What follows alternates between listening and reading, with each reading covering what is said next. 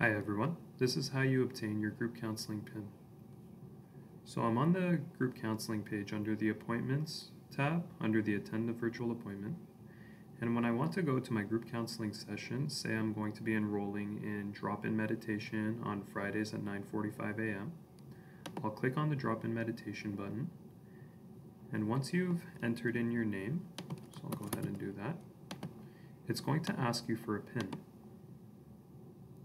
Now this pin is emailed to you, so when you enroll for your appointment, um, and there are videos describing how you can enroll for your appointments, um, once you've enrolled in your appointment, you'll receive an email that looks like this from Medeo. To obtain your PIN, you'll have to click on this View Secure Message button, sign in,